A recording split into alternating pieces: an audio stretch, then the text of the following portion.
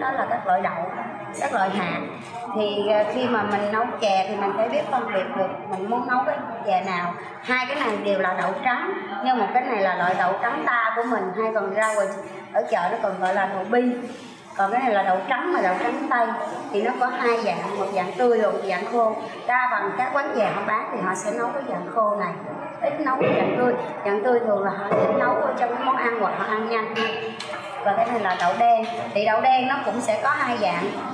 Một cái dạng là đậu đen ở trong cái lòng nó màu trắng, một dạng là đậu đen xanh lòng cái này là đậu đen xanh lòng đậu đen xanh lòng thì nó ngon hơn và nó thơm hơn, nó bùi hơn và nó mềm hơn. Ở trong đây thấy có cái màu xanh. Đó là cái đậu đen xanh lòng và cái này là đậu xanh cà vỏ rồi. Thì ngày xưa mình muốn nấu một nồi chè thì mình phải mua đậu xanh về, mình phải xay ra để cho nó bể đôi. Sau đó mình sẽ vo sạch mình ngâm. Ngâm ít nhất là phải 5 tiếng đồng hồ để nó tróc cái vỏ, nó nở hết lại. Và mình phải đãi đầu mình sạch để mình làm. Thì bây giờ thì nó tiện hơn. Là họ đã cà sẵn cho mình, thì mình chỉ cần mua về mình ngâm để mình sấy mình nấu nhưng cái đậu xanh này thì nó sẽ không bao giờ nó ngon bằng đậu xanh nào vì cái này họ đã qua một lần ngâm và một lần tách vỏ rồi thì cái độ béo độ thơm nó không còn nhưng mà hiện tại trên thị trường thì họ sẽ sử dụng cái đậu này thì nó tiện cho mình nếp để nấu chè một nói cái món chè miền Nam thì mình sẽ mua cái loại này gọi là nếp sáp nếp này nó có cái độ dẻo à, và mình nấu chè nó sẽ thơm nó ngon mình có thể nấu nếp sáp vẫn nếp ngỗng nếp nào cũng được. Nếp uh, nếp sáp thì nó dẻo hơn nếp ngỗng cái hạt nó dài nó đẹp hơn ha. Và tất cả ừ, cái này là nói về chè đậu xanh chè chè bà ba chè thập cẩm à, chè đậu đen và chè đậu trắng trước ha. Đường. Mà ở đây nó sẽ có ba cái bốn cái dạng đường loại đường cơ bản nhất mà mình thường hay dùng ha. Cái này là đường này là đường lò. Đường lò này là đường chưa có tẩy trắng còn này là cái đường cát, này là đường tinh luyện, đường này là đường tẩy trắng rồi, và cái này là đường phèn. Cái đường lò này thì nó sẽ có một cái vị ngọt đậm đà, và ăn nó tốt hơn là ăn cái đường tinh luyện. Và mình nấu những cái món chè mà mình không cần màu sắt thì mình nấu bằng cái đường lò này. Còn ví dụ như cái món chè đậu trắng thì mình bắt buộc mình phải sử dụng đường tinh luyện hoặc các loại bánh. Mình sử dụng cái đường tinh luyện. Đường tinh luyện này thì nó đã có chất tẩy trắng rồi ăn thì nó không có tốt sức khỏe nhưng mà à, nó lại là làm cho cái bánh của mình nó đẹp. Cái đường phèn thì là nó là một cái dạng đường nó có một cái vị ngọt rất là thanh. À, và thường sử dụng cho các loại chè và một cái loại đường nữa, đường này là trong bốn cái loại đường này thì cái đường này là cái đường tốt nhất.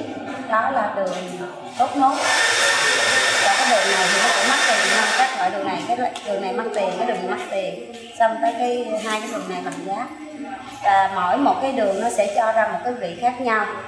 Và tùy theo anh kinh doanh ở trong một cái ờ, giá thành mà mình muốn bán một cái ly chè của mình như thế nào, thì mình sẽ chọn những cái loại đường khác nhau ví dụ như hôm nay mình sử dụng, mình nấu cái món chè bà ba thì mình sử dụng đường thốt nốt.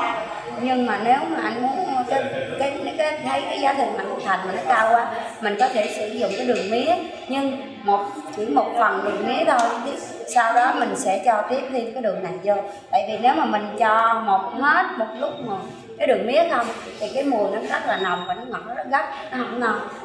Đó là nói về nguyên liệu đường và ở trong tất cả các loại chè của mình thì nó không thể thiếu cái nước cốt dừa. Cái nước cốt dừa là một cái loại mà quyết định cái độ ngon của cái bánh.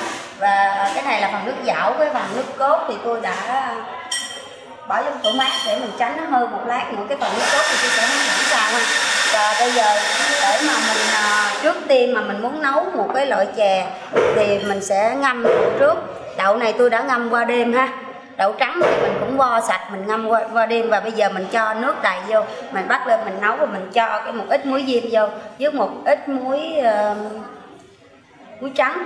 Muối để nó làm cho đậm đà cái hạt đậu của mình. Sau khi mình nấu hạt đậu của mình nó nó mềm rồi thì mình đem ra mình đãi sạch cái mài này để mình nấu chè thì cái nồi chè của mình nó mới ngon ha. Còn cái này là đậu đen cũng đã ngâm nở qua đêm rồi. Và cái này là đậu tây mình cũng đã ngâm cái món này là món chè đậu đen còn cái món này là à, chè thập cẩm. Chè thập cẩm thường là họ sẽ sử dụng cái đậu trắng tây này ha.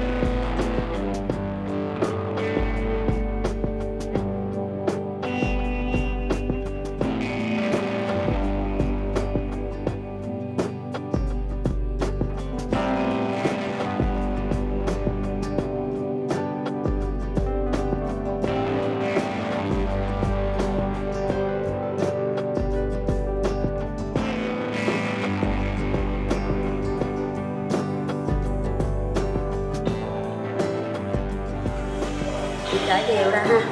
Tiếp tục mình sẽ cho cái thằng nếp này lên.